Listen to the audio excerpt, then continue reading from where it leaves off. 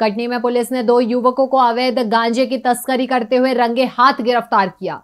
इन गांजा तस्करों के पास से 9 किलो गांजा जब्त किया गया। पुलिस को मुखबिर से सूचना मिली थी कि बस स्टैंड पर दो युवक, जिसमें एक पन्ना ज़िले का निवासी है, दूसरा दमोह ज़िले का निवासी है, बड़ी मात्रा में गांजे की खेप के लिए ग्राहक की तलाश में जुटे हैं।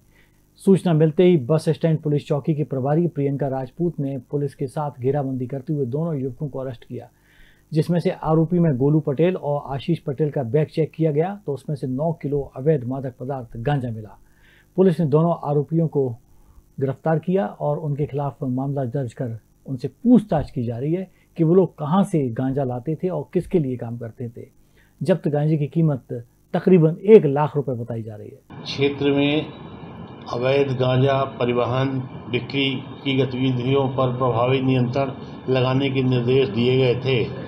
इसी क्रम में चौकी प्रभारी बस स्टैंड को आज प्रातः मुखबिर द्वारा सूचना प्राप्त हुई कि दो लोग बैग में गांजा रखे हुए हैं एवं वो गांजा बिक्री करने के प्रयास में हैं।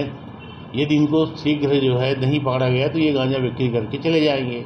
साइबर सेल प्रभारी निरीक्षक श्री संजय दुबे, किस के साथ में इनके सहयोग से घेराबंदी करके पकड़ा गया दो लोगों को, जिसने में से एक जो है गोलू पटेल पिता पूरनलाल पटेल, ये तेईस साल निवासी वर्धा तहसील हटा जिला दमोह का था, और आशीष पटेल, पिता श्यामलाल पटेल, उन्नीस साल निवासी सुरदहा तहसील गुनौर जिला पन्ना का था। तो उनको हिरासत में लेके उनके एनडीपीएस के प्रावधानों का ध्यान में रखते हुए, पालन करते हुए तो उसकी बाइक की तलाशी ली गई। तो दोनों के पास से 9 किलो गांजा कीमती करीब एक लाख रुपए का जब्त हुआ है। इस प्रकार से चौकी बस स्टैंड, थाना कुठला की पुलिस द्वारा एक गांजे की अच्छी कार्रवाई की गई है। दोनों आरोपियों को गिरफ़्तार कर लिया गया है, जिन्हें की न्यायिक परीक्षा में भेजा जा रहा है और ज़िले में गांजा की इस तरह की कार्रवाई निरंतर जारी रहेगी। मध्य प्रदेश की महिलाओं के आर्थिक सशक्तिकरण के उद्देश्य से संवेदनशील मुख्यमंत्री शिवराज सिंह चौहान द्वारा मुख्यमंत्री लाडली बहना योजना का उपहार सभी पात्र महिलाओं को दिया गया है। इसके तहत उन्हें प्रति माह एक हज़ार रूपए दिए जाएँगे। ये राशि सीधे उनके बैंक खातों में पहुंचाई जाएगी। योजना की प्रक्रिया बेहद सरल और निशुल्क है। योजना से जुड़ने के लिए बहनों को कहीं भटकने की आवश्यकता भी नहीं है। दस जून को पहली किस्त बहनों के खाते में आ जाएगी एक हज़ार रुपया की पहली किस्त।